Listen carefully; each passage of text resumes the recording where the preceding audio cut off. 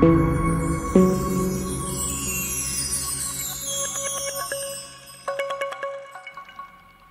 à tous, c'est la forme, hein. quintet samedi, tiercé euh, dimanche, quarté lundi, tiercé euh, ce mardi et les abonnés des Pronos du Cœur ont la chance d'avoir une analyse de très fine euh, à une heure du départ et tout à l'heure je vous poste en fin de vidéo ce que j'ai dit en dernière minute où j'annonçais à mes abonnés que le préféré des deux scudeurs était bien Nobleman, qu'il fallait aller sur Nobleman, et je mettais les freins sur l'autre qui était monté par Maxime Guyon, parce que c'était évident que c'était Nobleman qui avait plus de chance en dernière minute et euh, que le 7 troisième j'étais chaud et c'était carrément mon coup de cœur comme quoi il est intéressant d'être abonné parce que je le dis je le répète il faut jouer maintenant pour gagner au dernier moment pratiquement dans les 5 dernières minutes comme disait un certain Raymond Souplex.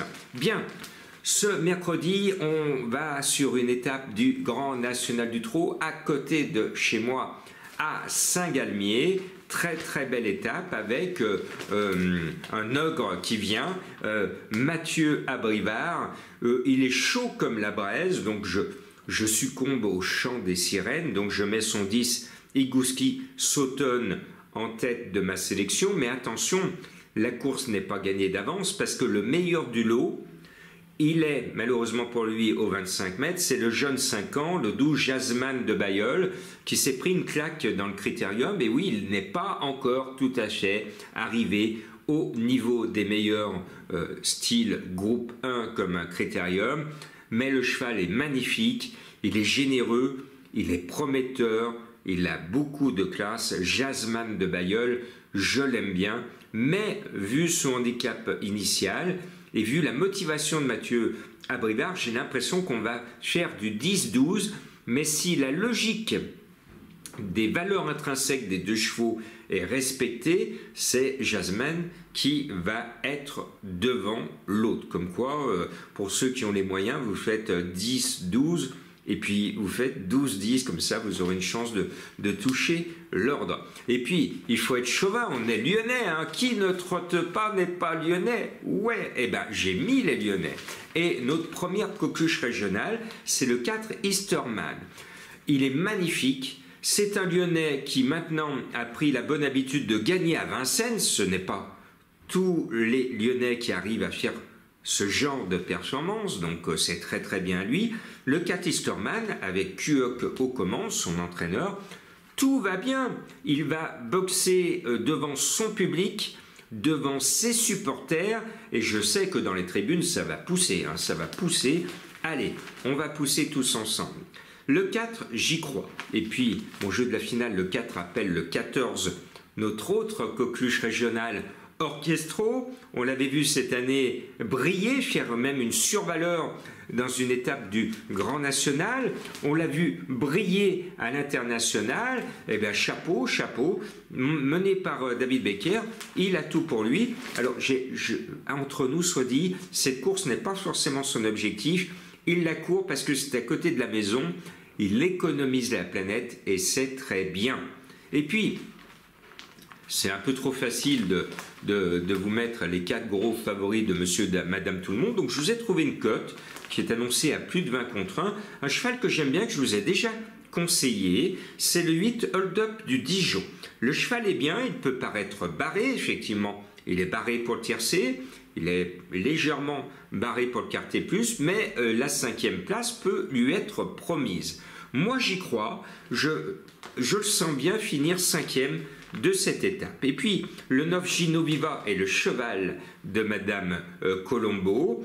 Il fait un long déplacement pour honorer euh, cette course. Et puis quand il a gagné un quintet il n'y a pas si longtemps, eh bien ce jour-là, c'était la dernière minute de Jean-Marc pour les abonnés des pronos du cœur. Comme quoi mes dernières minutes sont bonnes aussi. Et puis autres lyonnais, euh, on, va, on va les encourager. Le 3 Implora Mosin, avec euh, un entraîneur driver que l'on aime bien, euh, qui réussit bien depuis euh, un, très très bon cheval qu'il avait dans son écurie. Les Mosins, on les aime bien.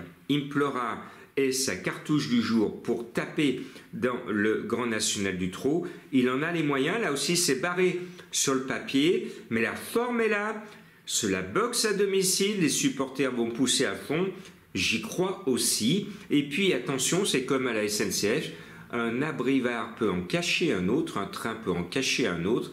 Attention, méfiez-vous, le 7 Gibor Voile est capable de doubler la mise pour Mathieu Abrivard. Ben dites-moi, on a une très très très belle étape sans le maillot jaune euh, Y de Ceylan, sans celui qui le titille, Ibiki de Well, bah, tant pis pour eux, ils ne prendront pas de points, les autres vont pouvoir se rapprocher d'eux. Et puis, je termine par une énigme du jour. C'est très simple. Euh, cet artiste, ce musicien, a joué euh, dans le film Zorro aux côtés d'un certain Alain Delon.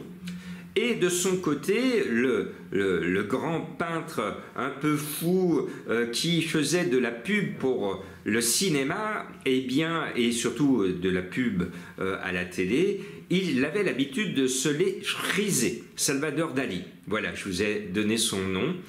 Qui est le nom de ce cheval mystère? À vous de le découvrir. Et puis hier, c'était Je reviendrai la réponse à mon énigme. C'est le préféré des, des. On pensait, il y avait un lore, que c'était le cheval monté par Maxime Guyon qui était le préféré. Tel n'est pas le cas puisque le 8 Cliff of More est en surcote.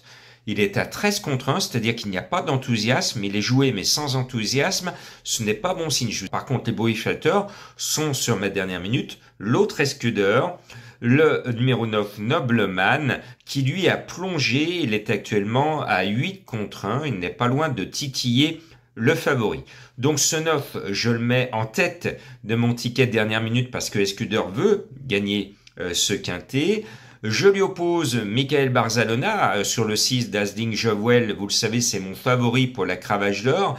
Il va pousser à fond, on peut compter sur lui et, les turfistes lui font confiance parce qu'il passe de 7 à 6 contre 1 et cette petite prise le propulse dans le statut de favori du public. C'est bien, le 6 ne va pas taper loin, ça va jouer entre le 9 et le 6. Maintenant, n'oubliez pas mon coup de cœur, il vole sur le sable, c'est le 7 euh, Forever Given qui est le cheval de Madame Colombo. Ne l'oubliez pas. Eh bien, ce 7, je le sens bien. Même s'il fait une rentrée, le 14 Tilila est joué à 7 contre 1, donc je vous le mets.